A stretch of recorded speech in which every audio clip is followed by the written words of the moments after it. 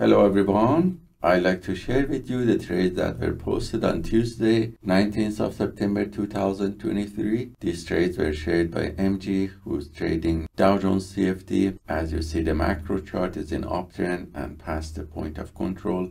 And we can see in the structural chart also that the price broke the complex pullback and the trend was resumed. So using a smaller trading chart, he identified multiple area of long entry and entered long positions based on algo 1 to 5 and managed and closed them with profit.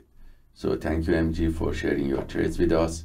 The next trade was shared by Castra, who's trading gold USD. As you see, the trading chart shows that the price has tested this level of static resistance multiple times. And in the last three tests, he identified this area as a good entry based on setup C and entered this position with good risk to reward ratio and is trailing now the price and is risk free and is close to reaching the profit with a good runner and risk to reward ratio. So thank you Castra for sharing your trades with us. The next trade was shared by Jan, our global instructor, who's trading Nasdaq CFD. As you see, the macro chart reached an area of static support on a daily chart. And also you can see that the breakout was false. So he saw the momentum is decreasing in the structural chart.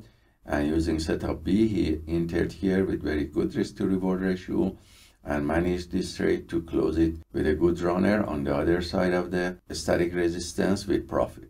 So thank you, Jan, for sharing your trades with us.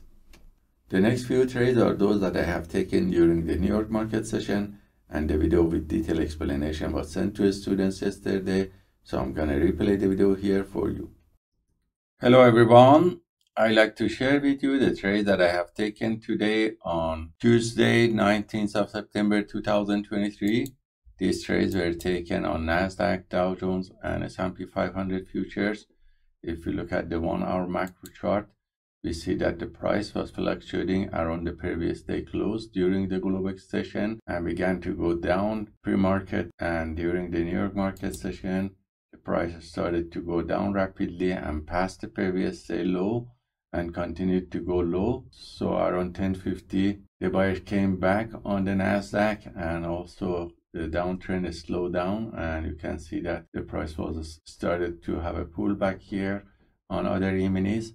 So I took several long positions using setup C and T on Nasdaq around 1030 to 11 and also on Dow Jones around 11 to 1130 and on S&P 500 and also around 11 and these long positions were copied from each chart by copy trader to multiple apex trader funds accounts. And we can see that the result was positive showing profit factor of 1.42 with about 77% win rate from the long positions taken an average win to loss ratio of 0.43 the largest winning trade was 155 and the largest losing trade was $329 so I hope this trace taken by the PAAT system is useful for you and let us know if you have any questions.